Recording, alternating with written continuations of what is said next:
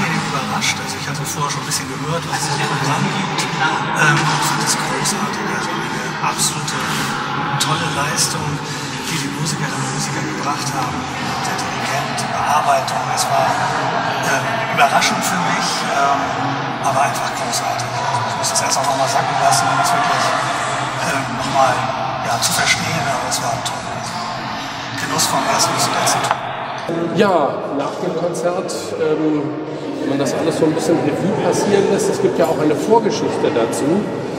Wie Ja. ist denn ein junges äh, märkisches Kammerorchester, das hauptsächlich im, im Kirchenkreis äh, in Zossen arbeitet, wie ist das plötzlich nach Fürstenwalde geraten? Naja, so weit entfernt ist Zossen von Fürstenwalde nicht. Und zumal die ehemalige Superintendentin hier inzwischen auch in Fürstenwalde wohnt und am nächsten Sonntag hier predigt.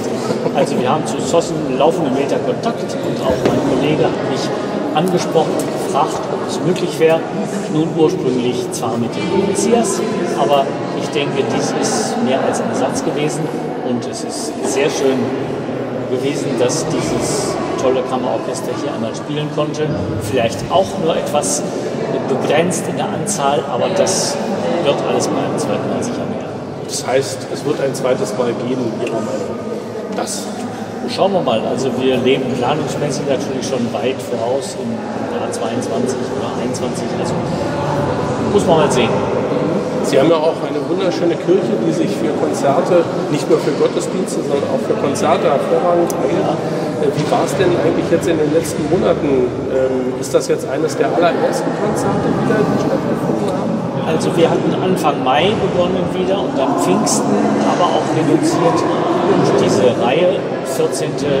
internationale Festival der Sommermusik, ist sozusagen hiermit eröffnet worden, auch wenn das hier nicht expressis verbis in den Ankündigungen jetzt so gesagt worden ist. Aber äh, es folgen dann viele andere Konzerte, das heißt, sie heißen eben nicht Konzerte, sondern Musik und Wort, wobei Musik natürlich den Löwenanteil haben soll. Aber äh, wir haben uns jetzt etwas mal von dem Begriff Konzert getrennt, einfach weil wir es dann auch als Gottesdienst leichter oder als Andacht viel Musik mit einigen Worten dann besser durch diese Regel hinkriegen wieder. Aber das hat ja auch sehr gut funktioniert mit der Aufreihung des, des Publikums. Leider haben nur 75 Personen reingepasst, den Regeln zufolge.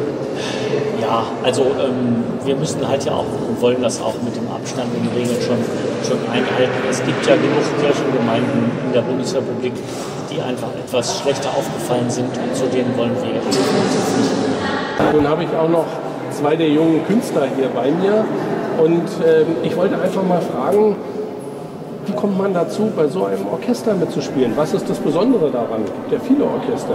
Ja, also ich spiele auch außerhalb dieses Projektes noch im Orchester und ich spiele auch unheimlich gerne Orchester.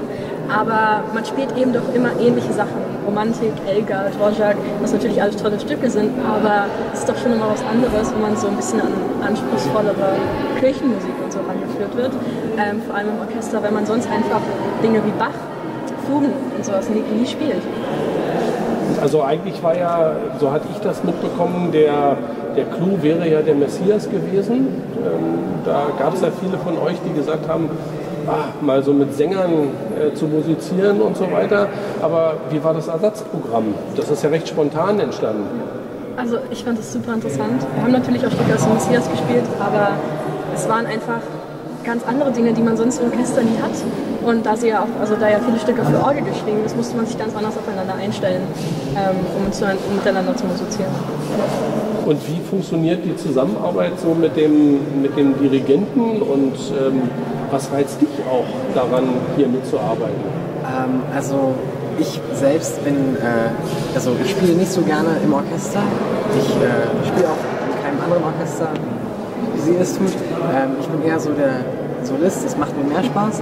Aber ähm, unter äh, Fabian Enders ist es einfach mal was völlig anderes, denn man, man spielt nicht alle Tage unter solch einem großartigen Dirigenten, der das auch wirklich studiert hat, der unter äh, ähm, Masur gelernt oder gelernt hat.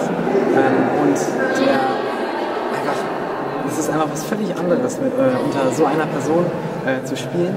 Und ähm, er wurde ja auch zum, für den Echo Klassik, äh, Opus ist es ja jetzt, äh, nominiert. Und es ist einfach, es macht Spaß mit ihm äh, zu spielen und auch die Sachen, die er, ähm, die er, wie er diese Stücke interpretiert, ist auch was äh, Besonderes, was sehr gut ist. Äh, da wäre auch die Frage, ihr seid ja vom Alter her relativ unterschiedlich. Also ihr gehört ja jetzt zu den, zu den Älteren, zu den deutlich Älteren und dann gibt es auch ein paar kleinere. Ähm, wie funktioniert das so?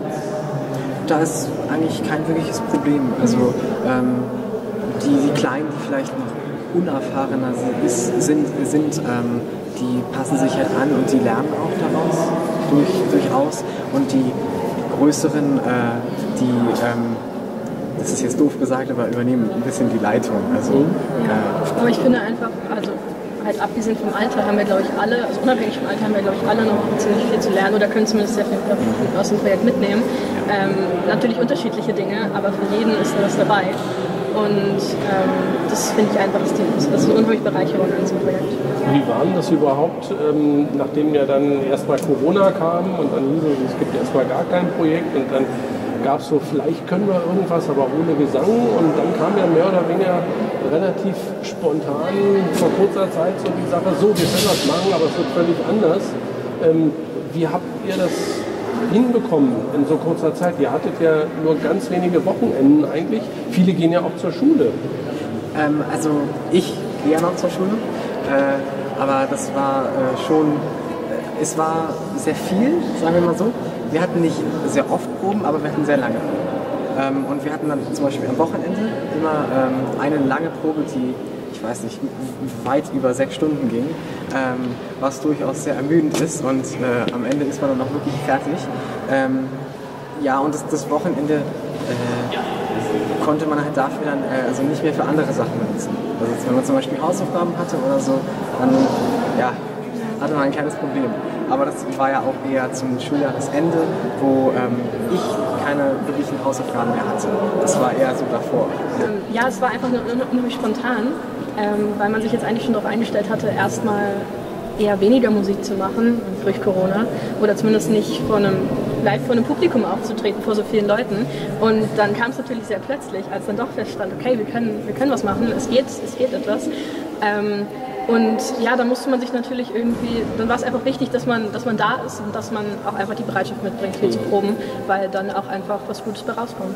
Ja. Äh, seid junge Leute, ähm, junge Erwachsene und die machen Party, natürlich macht ihr auch Party, ähm, aber man verbindet das eher nicht so mit ja, klassischer Musik oder Barockmusik.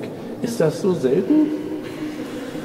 Ich glaube, da können wir jetzt nicht so viel zu sagen, weil für uns ist es normal. Für uns ist es normal. Ja, weil wir bewegen uns in, in, in dem Umfeld und auch mit Leuten, die äh, sich auch für viele verschiedene Musikrichtungen ähm, interessieren, vor allem halt innerhalb der Klassik auch für verschiedene Sachen. Mhm.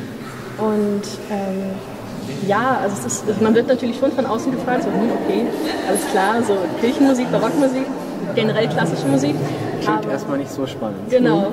Aber ich glaube, ähm, wenn man sich näher damit befasst und auch merkt, wie viel man dadurch eigentlich lernen kann, auch generell über das Orchesterspiel. Nun ist das Konzert vorbei. Du hast wieder ein bisschen Luft geschnappt. Das ist ja doch körperliche Schwerstarbeit, wie man ja immer mitbekommt. Wie kommt man eigentlich auf die Idee, ein Jugendorchester aufzubauen, was Barockmusik spielt?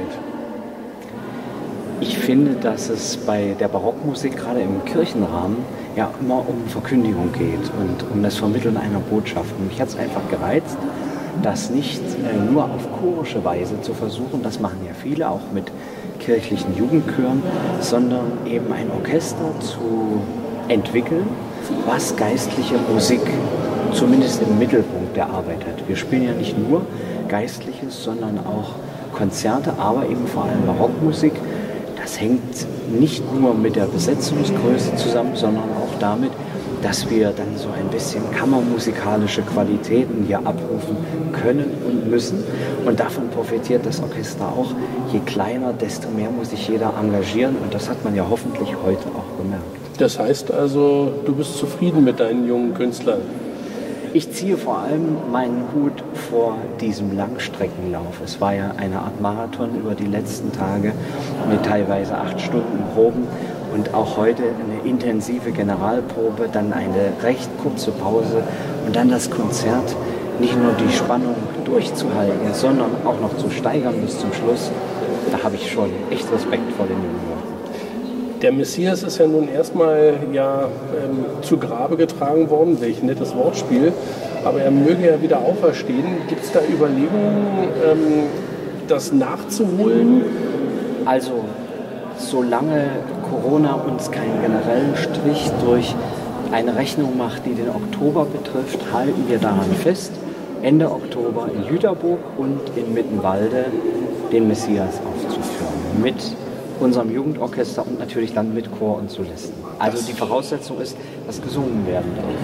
Und ansonsten gäbe es wieder ein Notprogramm, was aber gar kein Notprogramm eigentlich ist. Ansonsten wird es ein buntes Programm, wo man sicherlich ähnliche Dinge wie jetzt aktivieren kann. Ich meine nicht reaktivieren, mhm. sondern ein anderes Orgelkonzert äh, oder auch andere Orchesterstücke, vielleicht auch wieder bearbeitete Choralvorspiele. Und Mozart hat auch noch wesentlich mehr Divertimenti als dieses geschrieben. Da wäre auch die Frage, ähm, ähm, unser Interview werden ja durchaus einige Leute hören und sehen. Das ist ja auch der Sinn der Sache. Ähm, wie sieht es aus, wenn jemand vor dem Bildschirm sitzt und sagt, Mensch, ist ein tolles Orchester, ich möchte mitmachen. Was muss der mitbringen? Die Arme sind nicht geöffnet, weil es Corona ist, aber die Türen sind alle geöffnet. Das heißt, wir freuen uns über jede und jeden, der selber durch eigenen Geigen, Bratschen, Cello oder Bassunterricht schon in die Region der Stücke gekommen ist, die so etwa unseren Schwierigkeitsgrad ausmachen. Das, was wir heute gehört haben. Wer sich das zutraut oder auch neu ist in, der, äh, in dieser äh, Preisklasse, sage ich jetzt mal, und äh, trotzdem sagt, ich interessiere mich, der soll es auf jeden Fall probieren. Und wir haben ja auch eine Probenplanung, die ermöglicht, wirklich die Dinge behutsam zu lernen dass man am Ende doch relativ sicher ist, hoffe ich. Ja, vielen Dank für dieses schöne Konzert. Jetzt musst du erstmal wieder zu Atem kommen und ähm, ich freue mich sehr. Es hat mir sehr viel Spaß gemacht und ich hoffe, dem Dirigenten hat es auch Spaß gemacht. Dem Dirigenten hat sehr viel Spaß gemacht und äh, es ist eben nicht nur das große Oratorium, was Freude macht, sondern so ein abwechslungsreiches Programm wie heute zu gestalten, das war eigentlich ein Vergnügen. Ich glaube auch fürs Publikum. Das war's. Hm? Dankeschön. Gerne.